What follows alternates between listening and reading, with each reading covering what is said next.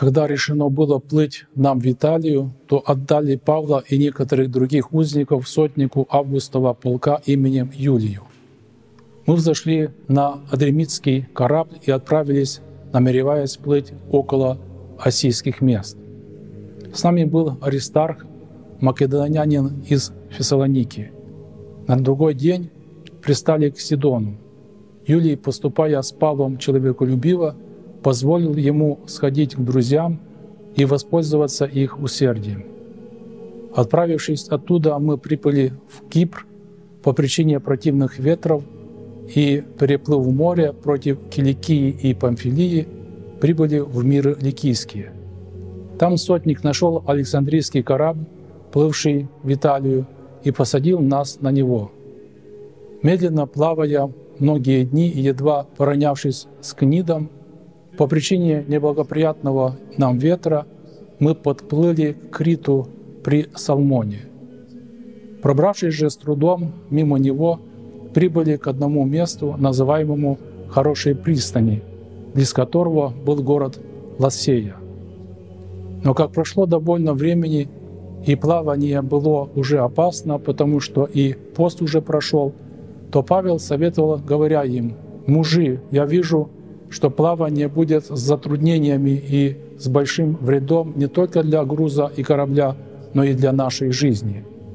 Но сотник более доверял кормчему и начальнику корабля, нежели словам Павла.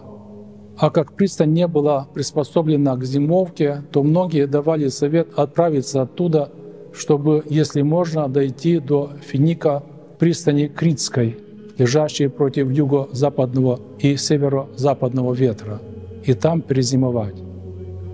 Подул южный ветер, и они, подумав, что уже получили желаемое, отправились и поплыли поблизости Крита. Но скоро поднялся против него ветер бурный, называемый Евроклидон. Корабль схватило так, что он не мог противиться ветру, и мы носились, отдавшись волнам. И набежав на один островок, называемый Клавдой, мы едва могли удержать лодку. Подняв ее, стали употреблять пособия и обязывать корабль, боясь же, чтобы не сесть на мель.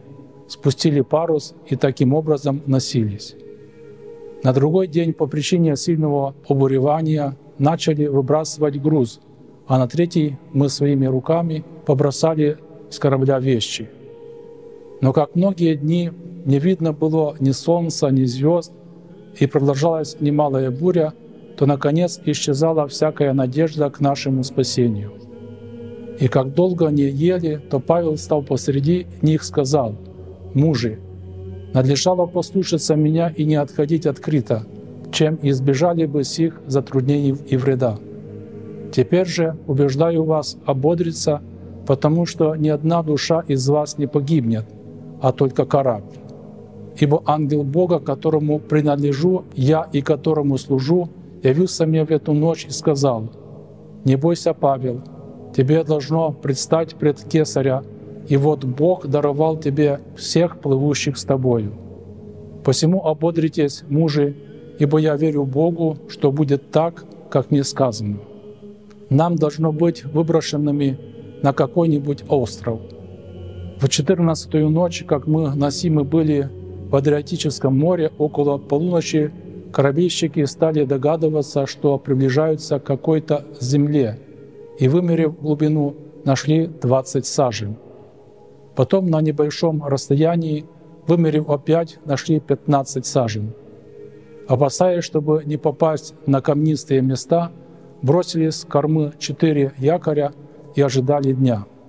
Когда же корабельщики хотели бежать с корабля и спускали на море лодку, делая вид, будто хотят бросить якоря с носа, Павел сказал сотнику и воинам, «Если они не останутся на корабле, то вы не можете спастись.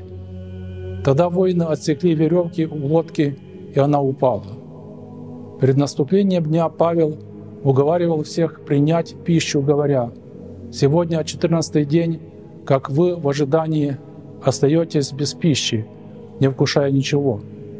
Потому прошу вас принять пищу, это послужит к сохранению вашей жизни. ибо ни у кого из вас не пропадет волос с головы». Сказав это и взяв хлеб, он возблагодарил Бога перед всеми и, разломив, начал есть. Тогда все ободрились и также приняли пищу. Было же всех нас на корабле 276 душ. Насытившись же пищей, стали облегчать корабль, выкидывая пшеницу в море. Когда настал день, земли не узнавали, а усмотрели только некоторые залив, имеющий отлогий берег, которому и решились, если можно, пристать с кораблем. И, подняв якоря, пошли по морю, и, развязав рули, и, подняв малый парус по ветру, держали к берегу. Попали на косу, и корабль сел на мель. Нос увяз и остался недвижим, а корма разбивалась силой волн. Воины согласились было умертвить узников, чтобы кто-нибудь выплыл, не убежал. Но сотник, желая спасти Павла, удержал их от всего намерения и велел умеющим плавать первым броситься и выйти на землю. Впрочем же спасаться кому на досках, а кому на чем-нибудь от корабля. И таким образом все спаслись на землю. В сегодняшнем апостольском чтении мы слышали рассказ святого апостола Евангелиста Луки о том, как святой апостол Павел проходил последнее в своей земной жизни путешествие. Путешествие в столицу Римской империи, где его ожидал суд самого императора. При этом мы видим, что автор книги «Деяний», упомянутый нами Евангелист Лука, говорит о данном путешествии не по пересказам, не как сторонний наблюдатель, но как непосредственный участник всех тех событий. Как мы видим из самого предложенного нашему вниманию текста, указанное путешествие первоверховного апостола вовсе не было спокойным и безопасным.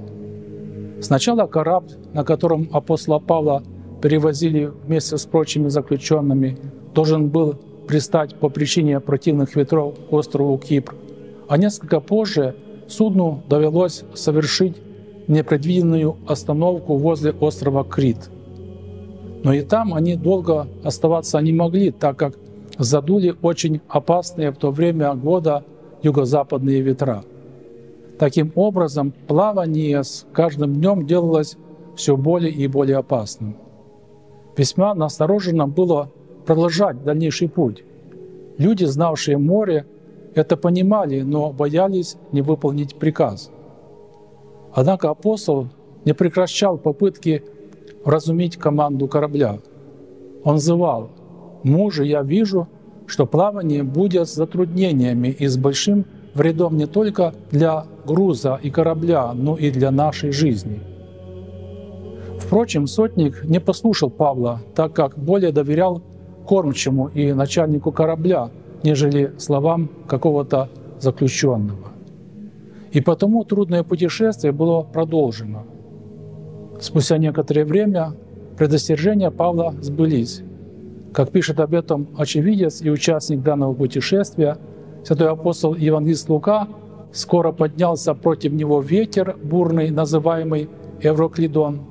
Корабль схватило так, что он не мог противиться ветру, и мы носились, отдавшись волнам. Когда у экипажа корабля исчезла уже всякая надежда на спасение в таких жутких природных условиях, святой апостол Павел вновь обратился ко всем своим спутникам и сказал, «Мужи, надлежало послушаться меня, чем и избежали бы сих затруднений и вреда. Теперь же убеждаю вас ободриться, потому что ни одна душа из вас не погибнет, а только корабль.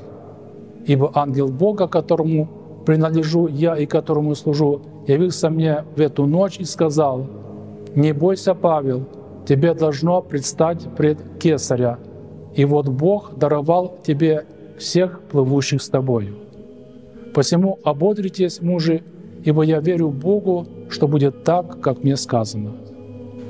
По словам блаженного Феофилакта Болгарского, даже в такой сложной ситуации апостол Павел – обращается к своим спутникам не с укоризной за то, что его не послушали, но с кротостью и пониманием. Павел не винит в опасности всеобщей загибели команду корабля, дабы не угнетать и без того впавшие в уныние и отчаянные души. И действительно, через некоторое время корабль стал приближаться к суше, и весь его экипаж был спасен. Почему Святая Церковь предлагает нашему вниманию сегодня именно это апостольское зачало? О чем она хочет нам сказать с его помощью? По мысли толкователей, данный апостольский отрывок весьма важен для каждого из нас, так как помогает нам убедиться в реальности такого явления, как промысл Божий. Святитель Василий Великий учит, в том, что существует и что происходит в нашей жизни, нет ничего ни напрасного, ни случайного, ни неопределенного. Но все, что происходит с нами, происходит так по высшему волеизъявлению Бога. Даже в том случае, если мы чего-то не понимаем или даже не хотим принять, есть определенная цель. И эта цель очень часто в силу нашей ограниченности нам непонятна. По замечанию одного современного подвижника, если мы не знаем плана постройки того или иного здания, в самом начале его возведения нам может показаться, что строители совершают бессмысленные действия. И только к концу строительства мы видим воочию, что то, что было запланировано изначально, доведено до совершенства. Точно так же и в духовной жизни человека. Иногда нам кажется, что Бог поступает с нами жестоко или несправедливо, что Он в чем-то незаслуженно нас наказывает. Но проходит время, и мы понимаем, что то, что нам казалось ранее наказанием, на самом деле было для нас благом и милостью Божьей. Помня об этом, мы всегда должны верить Богу, доверять Ему и уповать на Него. Ведь Он, как никто другой, знает, что поистине для нас важно и спасительно в каждый отдельный момент нашей земной жизни.